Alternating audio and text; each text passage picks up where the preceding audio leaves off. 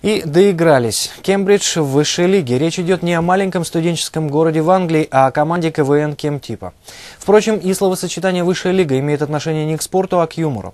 Кемеровские КВНщики по приглашению Александра Маслякова-старшего сезон начнут в главной официальной лиге КВН. Первую игру команда из Кузбасса сыграет уже в начале марта. С веселыми и находчивыми из Кемерово познакомилась наш корреспондент Ольга Коваленко. Команда КВН Кембридж из Кемерово. Совсем скоро эти звучащие как музыка слова кемеровские болельщики услышат из уст Александра Маслякова-старшего. А о ребятах из команды «Кембридж» узнает самая широкая аудитория. Впрочем, в около КВНовских кругах они уже хорошо известны. За плечами игры в Лиге КВН Азия, Лиге Москвы и Подмосковья, первой лиги в Минске. Свою первую игру команда сыграла осенью 2005-го. С годами менялся командный стиль, форма подачи шуток и даже состав. Так из множества образов, идей и типажей появился Кембридж. Когда-то делали ребрендинг, сборная Кимтип хотелось как-то переименоваться. Написали на листках, посмотрели, Кембридж, ну, хорошее название. А потом уже Кем вроде и Кимтип, и Кем, и Кемерово, и подходит. Путь к высшей лиге был не самым коротким и где-то даже тернистым.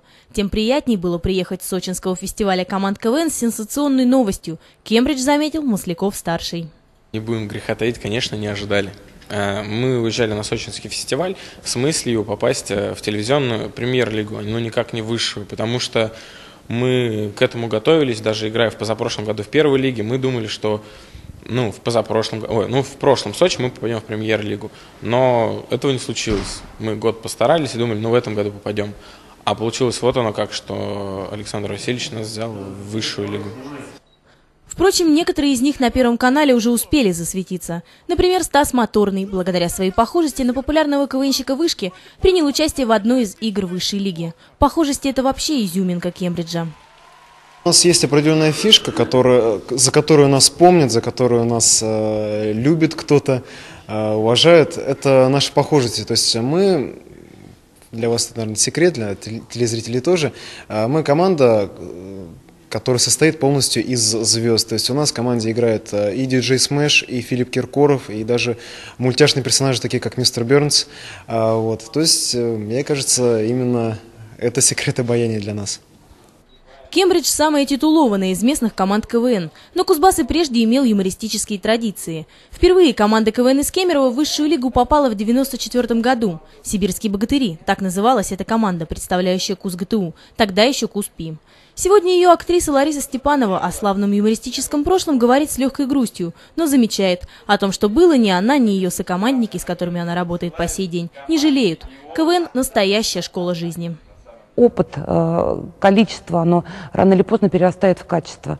Здесь самое главное, всегда говорю ребятам, которые начинают играть в КВН, что вы всегда обязательно достигнете результата, если вы не бросите этим заниматься. Просто не бросайте, и успех к вам придет. Но если немножко не, э, э, человек двигается, двигается, и остается, может быть, сделать один шаг, и он останавливается, но он только как по эскалатору скатится вниз.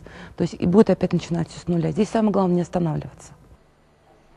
Вот и ребята из Кембриджа останавливаться на достигнутом не собираются. 4-5 часов в день ежедневно, именно столько посвящают КВНу. Собираются в студенческом клубе Кимтипа, а то и просто в пустой аудитории. Уже начали понемногу сбивать программу будущего выступления. В Москву они отправятся ближе к концу февраля.